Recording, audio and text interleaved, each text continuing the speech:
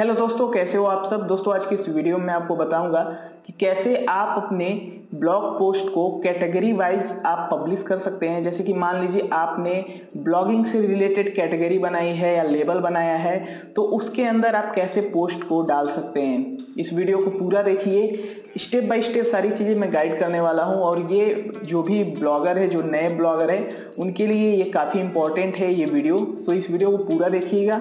और आपसे एक ही रिक्वेस्ट है, जिस तरह से आप लोग सपोर्ट बना के रखे हैं प्लीज़ सपोर्ट बना के रखिएगा और वीडियो को लाइक ज़रूर करिए। कमेंट में बताइएगा कि आपको ये वीडियो कैसा लगा।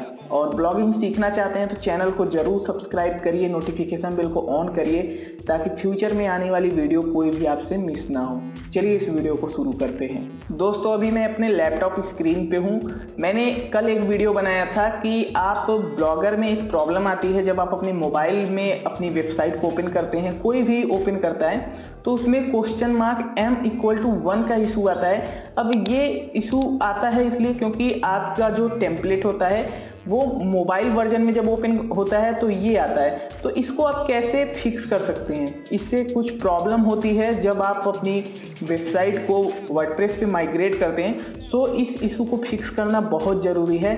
सबसे पहले आप इस इशू को ज़रूर फिक्स करिएगा इस वीडियो को देखने के बाद, ठीक है? इस वीडियो का जो लिंक है डिस्क्रिप्शन में है।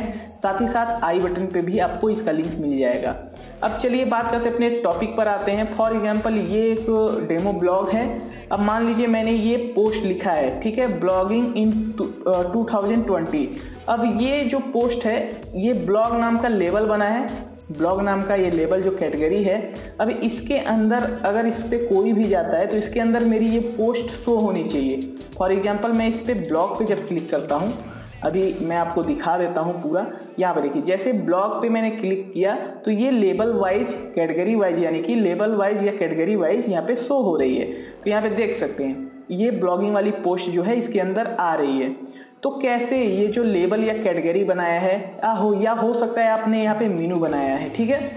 तो इसके अंदर हम कैसे अपनी पोस्ट को पब्लिश कर सकते हैं इस लेवल के अंदर, ठीक है? उस पर ये वीडियो है, ठीक है? तो सबसे पहले आपको, देखिए, जब भी आप कोई भी पोस्ट लिखने जाएँ, आप जितनी भी लेबल बनाए, जितनी भी कैटेगरी बना के रखे हैं, उसमें क्या करना है आपको? जैसे कि ये पोस्ट है, ठीक है? इसको मैं सबसे पहले ड्राफ्ट में कन्वर्ट करता हूँ, यहाँ पे रिवर टू ड्राफ्ट करता हूँ, उसके बाद आपको दिखाता हूँ, ठीक है? अब इस पर मैं चल, मैं यहाँ पे चलता हूँ पोस्ट पर अपने, ठीक है? वेट करेंगे यहाँ पे वीडियो ठीक है?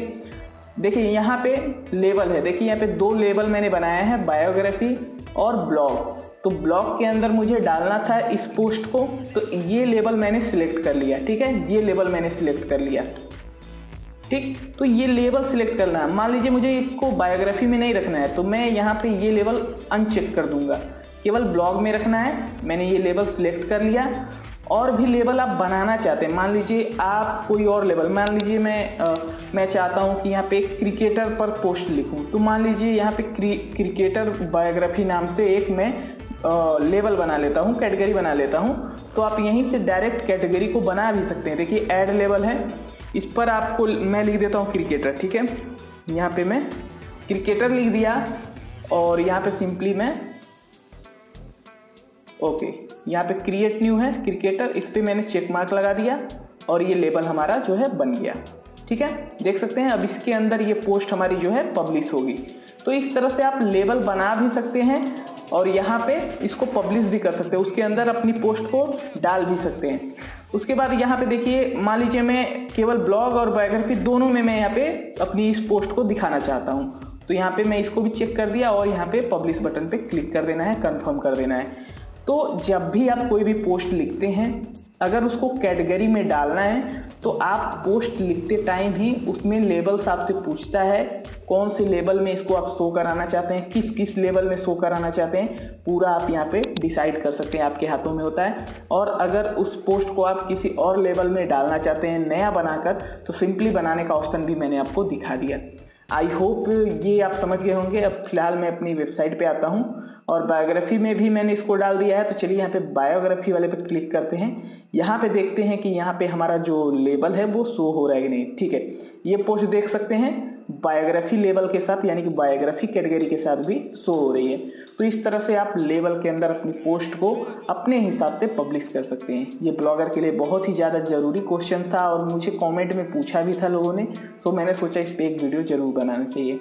आई होप ये वीडियो आपको पसंद आया होगा। अगर ये वीडियो आपको पसंद आए तो वीडियो को लाइक ज़रूर करिएगा।